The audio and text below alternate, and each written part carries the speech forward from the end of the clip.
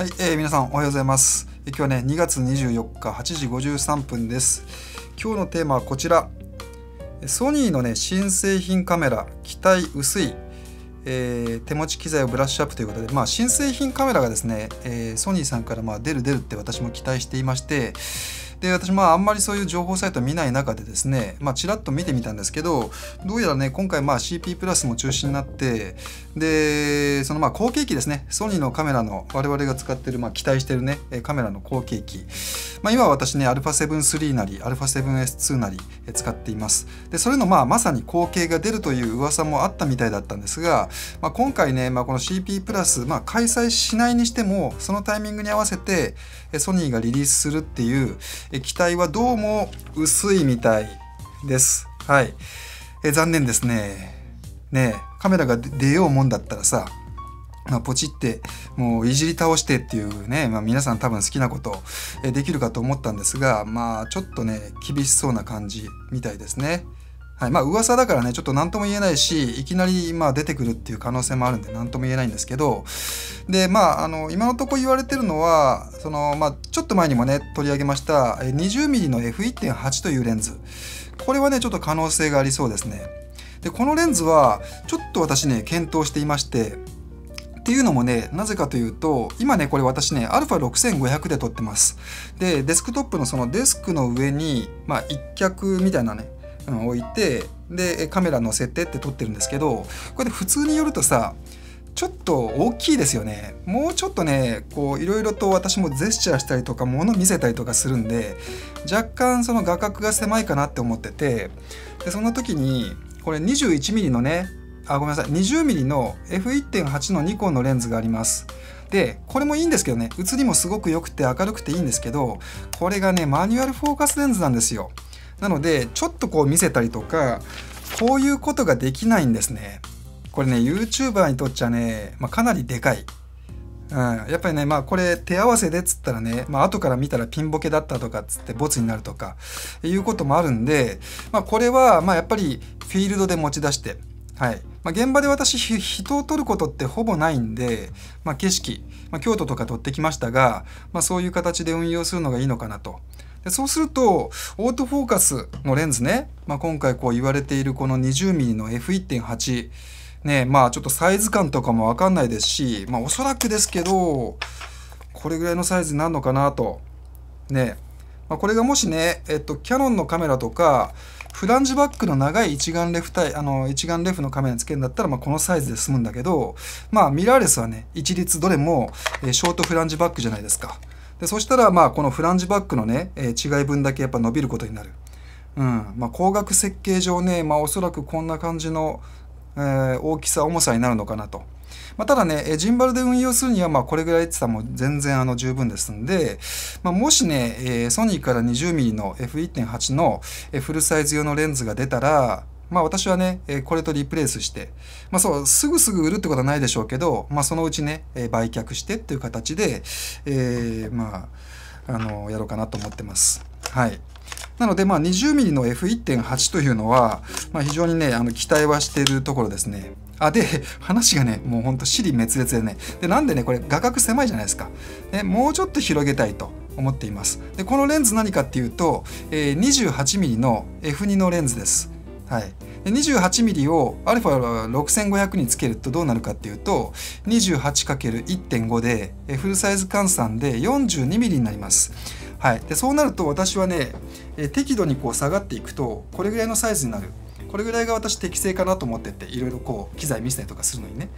で、それやるとねかなりマイクから離れてしまったりとか非常にね、なんかこうディスプレイ見ながら喋ったりとかすることもあるんで、まあ、そういうのすごくやりづらいということです。はい、だからねまあ本当ねたかだか自撮りっていうふうに思うかもしれないないですが、まあ、こうやってね情報発信させていただいてるこう場をね、まあ、持ってる以上ですね、まあ、その辺もちょっと配慮してっていうことで、まあ、そのソニーのね AF 付き、まあ、当然 AF 対応なんで 20mm の F1.8 というのは、まあ、もしね近々リリースされたら、まあ、価格とかね、え重さ、まあ、ジンバルでの運用がどうなのかっていうことを含めていろいろとあのちょっと興味、えー持って、臨もうかなと思ってます。まあひょっとしたら買うかもしれないしね。はい。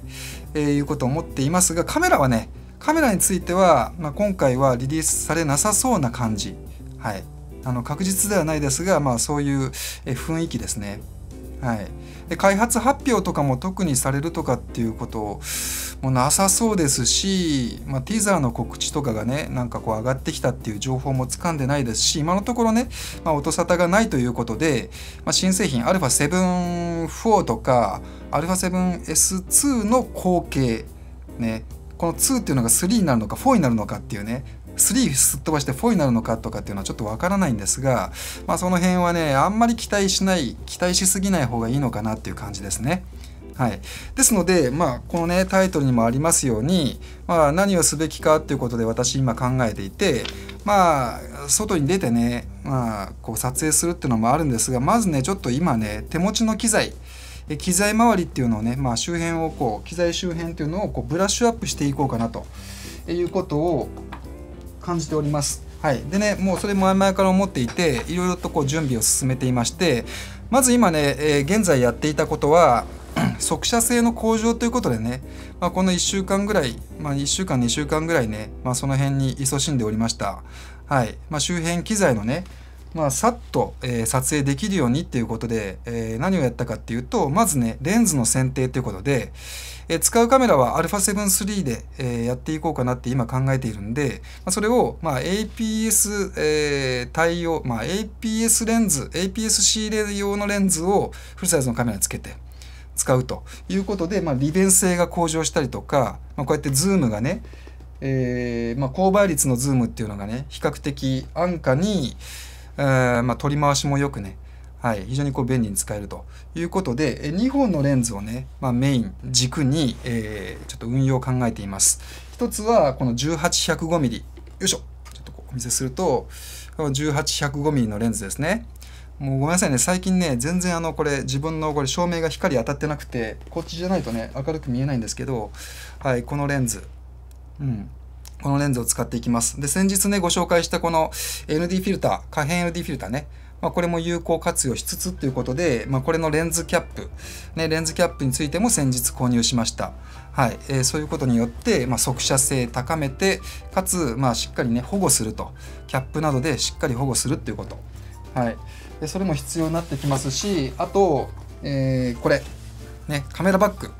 安いカメラバッグですけどね。はい、まあでもね安いカメラバッグでとりあえず運用してみようかなと思ってます。はいまあ、特に私の場合は、まあ、ビデオ派ですから、まあ、スチル派の方々はですね、まあ、レンズ交換さっとしてすぐ、えーまあ、撮っていくっていうことが可能かもしれませんが、えー、ジンバルやってる方々はねご存知かと思うんですが、えー、レンズを交換するまあ、もしくはカメラを交換する機材交換するとですねこのバランス合わせっていうのをねいちいちやらなくちゃいけないっていうのがありますよね。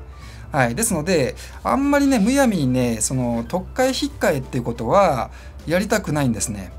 っていうのが1点とあとビデオの方っていうのはうーんまあ、そのセンサーのダストセンサーについたゴミですね。絞っていったりとかして青空を撮ったりとかする時にあのゴミが目立ったりします。絞り込むとね。であれって、まあ、スチルだったら、まあ、今の時代この、まあ、私だったら Adobe の Photoshop とかで、えー、スタンプツールのもっとあのインテリジェンスなやつがこうねちょっとこうなぞっただけですごいあの綺麗に消してくれるようなやつがあったりとかします。でもまあビデオでそれやるっつったらちょっと手間になるんですよ。まあ、あの全く無理ではないんですけどね、まあ、手間になってしまうっていうのもあってなるべくやっぱりゴミはあのー、つけたくないなっていうのがあって、まあ、現場に必ずですね、まあ、交換どうしてもね発生したりするんで、まあ、こういう、はい、ものを、えー、入れたりとか、うん、しています。はい。あとね、えっと、今ちょっと手元にないですけど、ペンタックス製のあの、ほら、センサー、ペタペタやるやつ。あのゼリーみたいなゼリー状のやつでペタペタやるやつね。ああいうのもまあ自宅でやったりとかいうメンテナンスっていうのは行いたいなって思ってます。はい。で、ソニーのね、サービスセンターだったっけ、えー、に以前 α7S2 をね、持って行ってクリーニングをしてもらったり、えー、しましたで。そういうのもね、やっぱりまあ年に1回なのか、まあ、定期的にはい、えー、やっていく必要もあるのかなと。絞り込んでね、フラット撮影なんかするとすごくよくわかりますね。フラットフレームみたいなさ、まあ、均一な光ですよ。iPad でもいい。iPad みたいなのをこうやって、えーと、レンズとか、えー、押し当てて、で、えー、まあ、光をね、白飛びしないようにってことで調整して、で、絞り込む。思いっきり絞り込んでパシャって撮ると、ゴミがいっぱい見えますから。うん、どんだけ綺麗にしててもねあのゴミってねもうほんとあの、うん、ゼロにはねやっぱならないですね。だそういうのがあるからレンズ交換式のカメラっていうのはねまあそういう宿命がやっぱあるわけですよ。まあ、対してねコンデジとかまあ、スマホとかも含めてですけどそういうゴミの心配がないっていうのはね、まあ、非常にまあそこはあのいいのかなと思いますがまあどうしてもね私はまあこのミラーレスの一眼を使っていくっていうこともありますんでこういうねカメラバッグにしっかりちょっとね光回ってないけどねはいまたねちょっとちゃんとね光回した状態でね、まあ、どんな風に運用してるのかっていうのもねまた、えー、お伝えしようと思いますが、まあ、私はねそんなにあの凝ったことはしてません。もう必要最低限でレンズ拭くこれクリーナーというか拭くやつねクロス。とか SD カードあの先日買ったね SD カードケースを入れたりとか、まあ、あとはねバッテリーのケースとかあ見えないね。ごめんなさいね。はい。まあ、レンズのポーチとかね。交換レンズは、まあ、このようにポーチに入れてます。はい。えー、1018のレンズと18105この2本がやっぱりね、まあ、いいかなということで、まあ、チョイスしました。でこっちはちっちゃいからこんなに長いポーチいらないけど、まあ、こっちがでかいからね、まあ、でかい方に合わせてということででかいポーチを1個で、まあ、特会引っかえで運用するという形になります。まあ、あとはねこういう ND フィルター可変 ND フィルターの、えこういうケースとか、まあ、しっかりねケースっていうのを安物でもいいから安物でもいいからしっかりまあこうやって入れておいてはい。で、え準備しておくということですね、まあ、ここにスマホ入れたりとか財布入れたりとかっていうこともします。はい、もう全然ねあの紹介に値するようなあのクオリティのバッグではなくてね申し訳ないんですけどまあこんなものでもねしっかり準備ができると、ね、ブラッシュアップもしていけるということです。はい、あとですね、えー、まあ、こういうね機材周りのブラッシュアップというか、まあ、準備っていうのもありますしあと、まあ、ちょっとマニアックな話で言うとジンバルのね設定の追い込み、まあ、スピードをね、えー、極力その現場に向いたような速射性の高い、えー、そのプリセットっていうのをね5つなりっていうのをしっかりこう登録して見直ししておくっていうこと。ね、これちょっとマニアックな話だから、まあ、あんまり触れるのやめます。まあ、最適化ってことで私、まあ、そこは得意なんで、まあ、それはやりますし、あと、まあ、映像作品系でいくんだったら映像、ね、映像に載せるその BGM ですね。音楽。いやすごくいい素材取ってきたはいいけど音楽が見っからないってことないですか？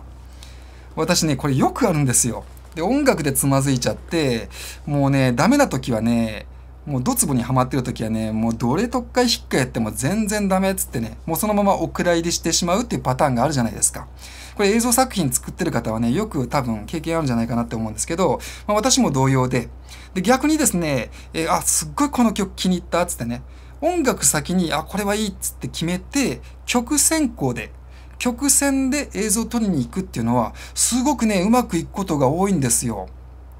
皆さんいかがですか？それやったことあります？曲線で、えー、映像を作ったことありますかね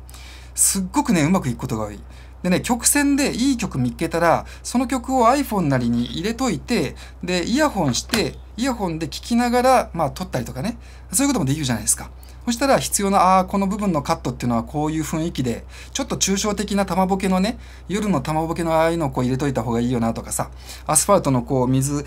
水たまりでこうね、あの、リフレクションする赤信号とかそういうの入れといた方がいいかなとかね、ラストシーンこういう風に、ああ、こんな音楽だから、ね、こんな音だから、まあ、こういう絵が欲しいなとかね。そういうのができるんで、まあ、やっぱりねその映像に使う BGM っていうのは、まあ、できればやっぱ事前にサーチしておく。事前にまああの暇の時でも結構ですし、まあ、その音楽サイトのやつをこうずっと再生して、まあ、バックグラウンドミュージック代わりにして別の作業をするとかねいうことをやるとたまにいいのが見っかったりするんででそれをピックアップしてストックしておく。いくつもいくつもストックしておけば、まあ、その後の映像のその撮影のね、まあ、何かしらのこう助けになるんじゃないかなって思います。はい。えいうのと、まあ、あとはねロケハンですかね。ロケハン次どこに撮影に行くのかっていう目的何をまあ表現何を撮影するのかっていうね、まあ、その辺りをやっぱり明確化しましょうということで私なんかあのスナップ派だからね、まあ、結構無目的で無目的で撮影地に赴いて、まあ、だらだらと撮るっていうことが結構大半なんで、まあ、その辺りをねしっかり、まあ、目的意識を持ってですね、まあ、何を撮りたいのか何を見せたいのか、え何を表現したいのかってね、まあ、よく言われます、まあ、そういったところを、まあ、ロケハンをするということ。ロケハンつって別に外に行ってロケハンしなくても今の時代 Google マップとかがあるんでね家の中でも Google マップでいろいろリサーチすることができます、まあ、そういったこと、うん、ありとあらゆるものを活用して、えー、まあ備えるということですね。はいまあ、備えつつですねもし、えー、そういうあの新製品のね何か情報とかありましたら、まあ、そこは買うかどうか検討したりとか、まあ、そういう楽しみ、はい、を持ちつつですね、まあ、あのブラッシュアップ、まあ、準備していこうかなということで、えー、やっていきたいと思います。はい、えそんなわけでね今日はね、まあ、えソニーのね新製品カメラ出ませんで、まあ、出ませんでした、まあ、決まってないけどね、まあ、出ないかもしれないと。期待がちょっと薄いかなということで、まあ、手持ちの機材周りっていうのをいろいろこう準備したりとか、はい。えー、その他ねいろんなリサーチをしていきましょうというお話でした、えー、チャンネル登録もねよろしくお願いいたします。あとね当店で下ねリンク貼っておりますんで、えー、ぜひねご覧になってみてください。以上です。ありがとうございました。